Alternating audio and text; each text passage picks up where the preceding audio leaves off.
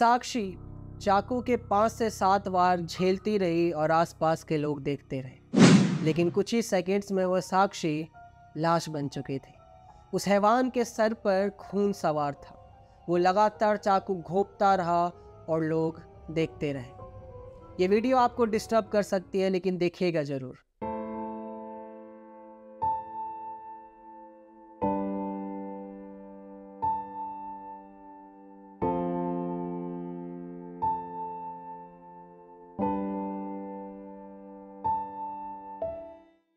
ये आज के ज़िंदा कौम की असली तस्वीर है।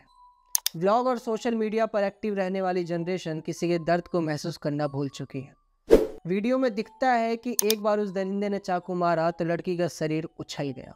लड़की के सिर में भी उस दरिंदे ने शायद चाकू घोपा था। लड़की दम तोड़ चुकी थी। ये घटना दिल्ली में रोहिणी के शाहबाद डायरी इलाके में हमले का शिकार हुई उस बदनसीब, नाबालिग लड़की का नाम साक्षी था।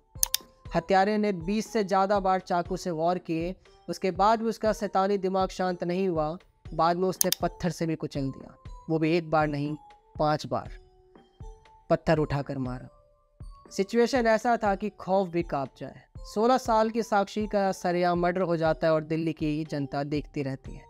कितनी शर्मनाक है ये हत्यारे का नाम साहिद है।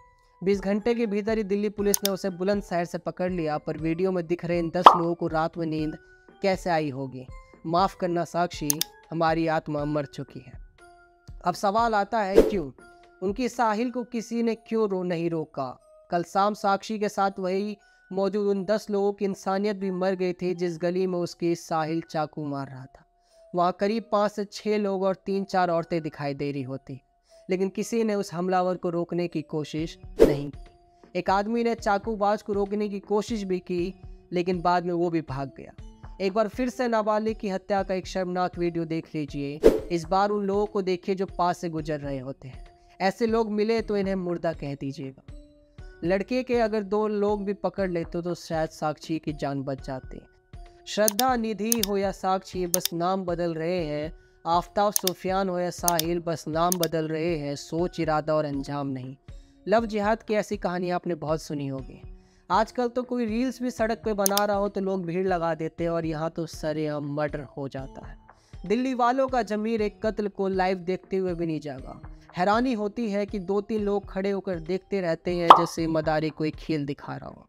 हल्की सफ़ेद टी शर्ट वाला लड़का बड़े आराम से जेब में हाथ डाले चला जाता है। वैसे तो गली में पति पत्नी के बीच झगड़ा हो या पड़ोसियों के बीच का बवाल, लोग इतने फ्री होते हैं कि गाड़ी खड़े करके भी मोज लेने से नहीं चूकते। यहाँ तो लड़की की जान ली जा रही थी और ये मुर्दे बन के खड़े होकर तमाशा देख रहे थे।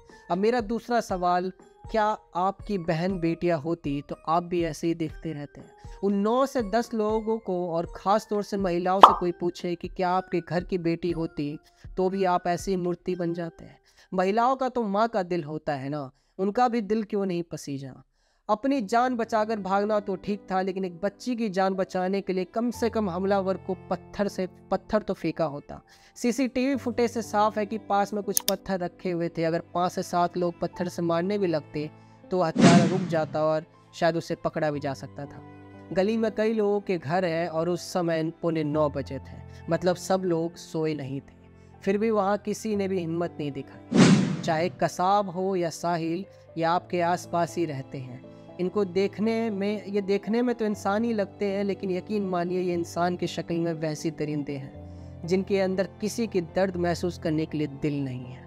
आप सोचिए, अगर उनमें से किसी एक ने भी कोशिश की होती है तो शायद आज साक्षी सही सलामत अपने घर होती। अब मुझे यकीन हो गया है दोस्तों, कि कलयुग अपने चरम सीमा पर है।